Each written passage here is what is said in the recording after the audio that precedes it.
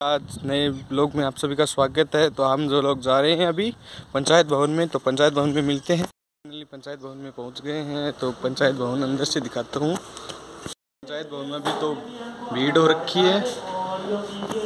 अभी बैठे हैं वेटिंग में चल रहा अभी टाइम देर लगेगी।